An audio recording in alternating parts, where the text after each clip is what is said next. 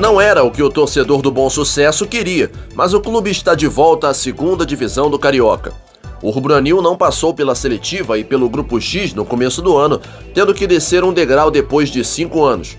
Apesar da decepção, a segundona é um campeonato ao qual o Cesso está plenamente acostumado, inclusive faturando o maior número de títulos e tendo mais participações que qualquer outro time da divisão. A força e tradição rubro-anil contam muito em um campeonato como este, mas é claro que a diferença quem faz é aquele que está em campo.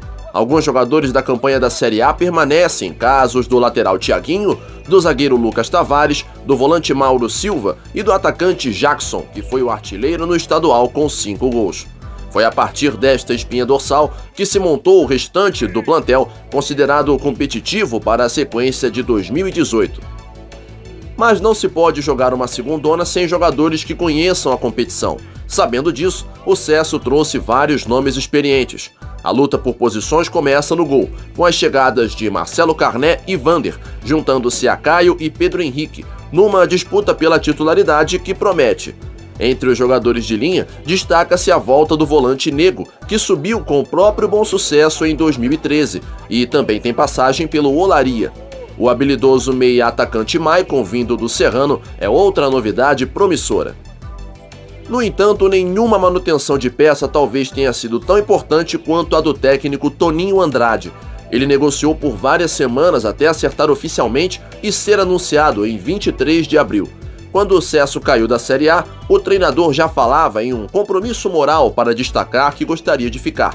A diretoria concordou e Toninho vai ter a chance de lutar por mais um acesso, como os que já teve por Portuguesa e Cabo Friense, por exemplo.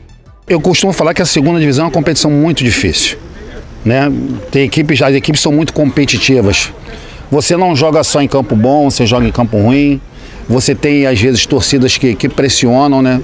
Que, que jogam o tempo inteiro te impressionando. Então você tem que ter um, uma concentração e um foco muito grande. E principalmente saber que é uma competição difícil.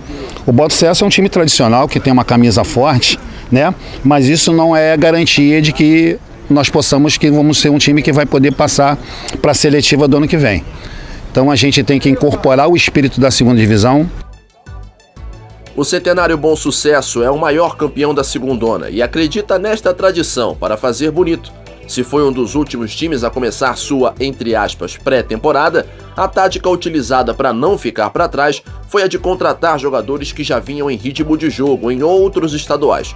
Aos poucos, o entrosamento vai sendo ganho em busca da melhor condição para a estreia contra o Carapebus, programada para o dia 19 de maio.